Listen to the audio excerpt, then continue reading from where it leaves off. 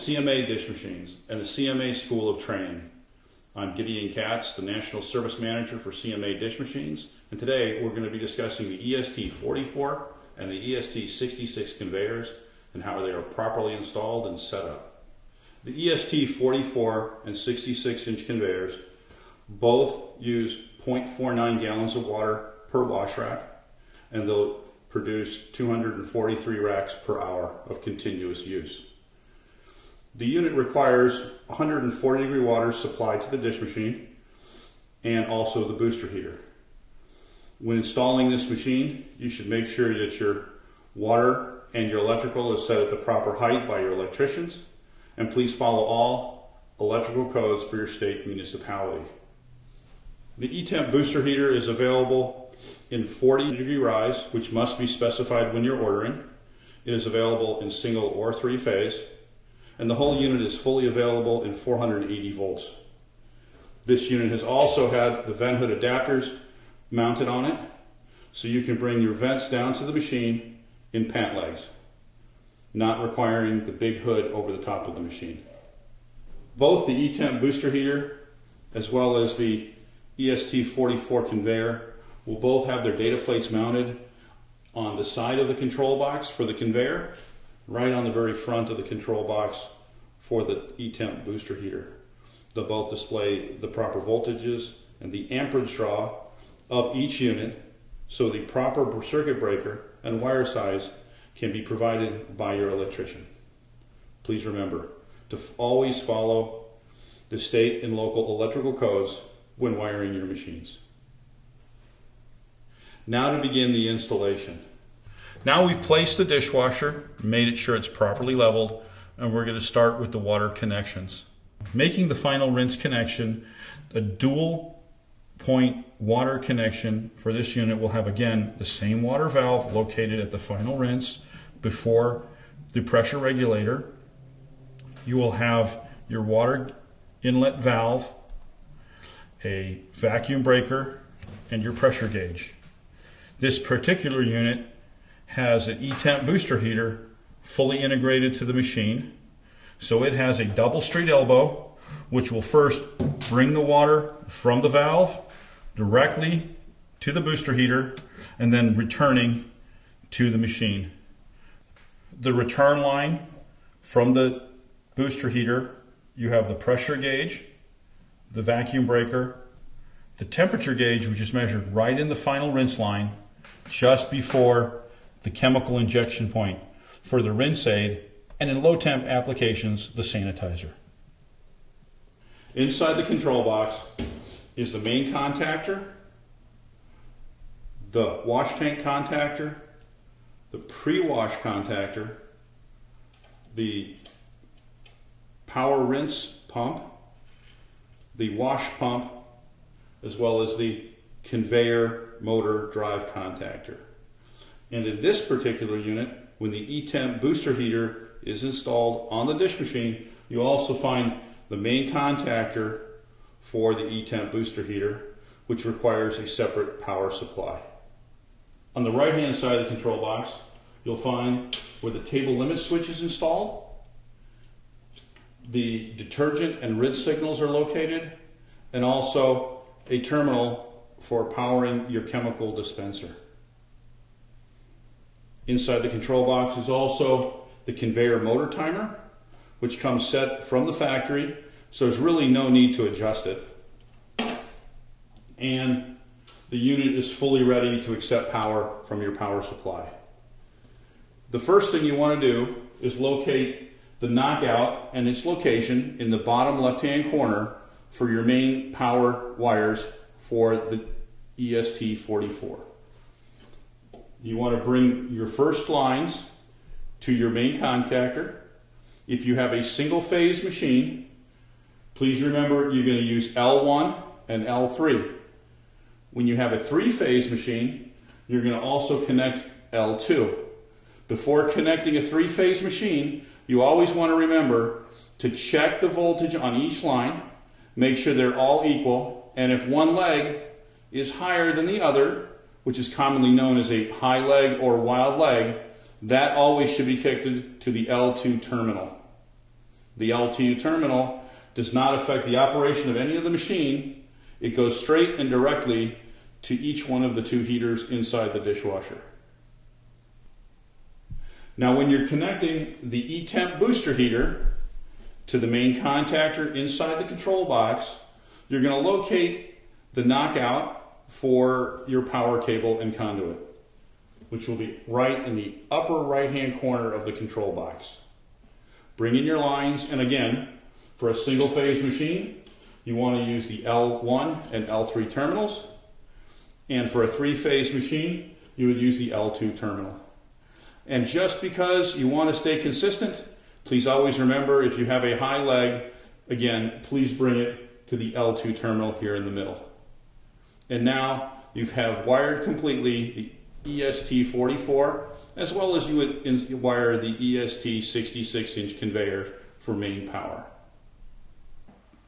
Now it's time to install and mount the EST44 external scrap tank. The scrap tank will come inside the dishwasher in a hardware box. Remove the tank and its mounting bracket. Mount the bracket to the external leg of the machine at the entrance side of the dishwasher using the hardware supplied. Once the mounting bracket is in place, place the tank on top of the bracket and connect the drain line. You'll now notice I've removed the lower kick panel for the machine so you can clearly see the motors, all of the reed switches, as well as the drain connections and the drain valves. When installing the machine, you want to locate your floor drain or your drain and you want to determine which side you want to connect to. The unit has the availability to have a left or right drain. It is of your choice. The unit is a gravity drain machine, so you need to set your drains appropriately. The scrap tank is connected via a T or a Y of your choosing. But please remember when installing T's, you need to make sure that the unit will not back up into the scrap tank before it drains. Now that you have water and power already connected to your dishwasher, the first thing we're going to check is the proper motor rotation of the wash pump. What you're going to do is remove the cap at the back of the wash pump and you'll be able to observe the motor shaft. The proper direction for the motor shaft to turn is clockwise. You'll also notice on the motor's base, there's a directional arrow to remind you. At the top of the machine, you will find labeled on the bottom right hand side a switch that is labeled auto and manual. So what you're going to do is you turn the switch to manual, let the motor run for just a moment, and observe the rotation of the motor after you've turned it off. If the motor is running the wrong direction, you need to return to the control box and move the L1 terminal to the L3 terminal to change the direction of the motor. The L1 terminal is located here, and the L3 terminal is located here. On a three-phase machine, this is very important to make sure that you have the proper motor rotation. And always remember, when you're making any changes, to turn off the power at the breaker and make sure all of the terminals are tight before you reestablish the power to the dishwasher. Now you've completed checking the motor rotation, ensuring that the motor is running the proper direction, which is clockwise, replace the cap on the back of the motor and make sure it is on tight. Now you've placed the machine, you have the water and the power connected, the dishwasher is level, your drains are fully installed. The last connections to make at the bottom of the machine is going to be your chemical injection fitting or bulkhead fitting at the rear of the dishwasher for your detergent. If the machine has already been placed, set up by your dealer, your chemical supplier will need to understand where the bulkhead fitting is properly located in the machine. Open the door to the wash, the access panel, and you'll see the inside of the dishwasher. Located inside of the machine, you'll find a blue plug located in the back wall of the dishwasher. That is the proper location for the chemical detergent bulkhead fitting. And the detergent conductivity probe location is at the bottom of the machine located next to the wash tank thermostat.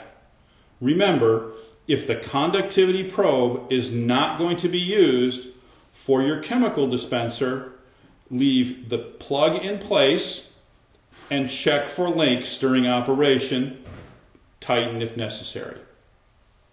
Now what we're going to do is we're going to fill the machine with water, then we're going to finish connecting the E-Temp booster heater so we can set the proper temperature for your final rinse. Lower the front access door, remove the panel from the E-Temp booster heater. This is the E-Temp booster heater. The booster heater will come with one of the two wires for the high limit switch disconnected. It will also have a bright tag located on it, letting you know that you should not connect this wire until after the booster heater has filled with water. Turn on the main power switch located on the side of the control panel for the dish machine. The dishwasher will begin to fill with water. The fill function of this machine is completely controlled by a new float system designed specifically for CMA dish machines, and it's part of the new technology located inside the EST 44 inch conveyor. Now for wiring the E-Temp booster heater. The E-Temp booster heater can be wired as a single or three phase unit. It does require a separate power supply, so you can have your machine running at three phase and have your booster heater running at single or three phase. It is your choice.